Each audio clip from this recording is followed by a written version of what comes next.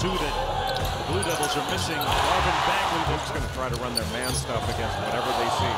Trent Jr. corner three is their biggest win of the season. Uh, quick turnaround to get up. Trent Jr. with a long three. Trapped in the corner. Shot clock at two. Got a jacket. Oh, wow.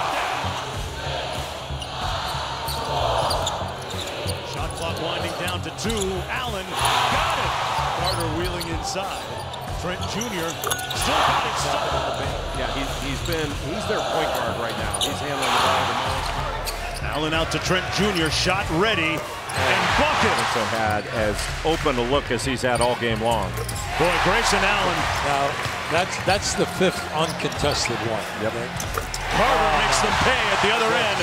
His Chuck, and Chuck looked great. His hair was always perfect.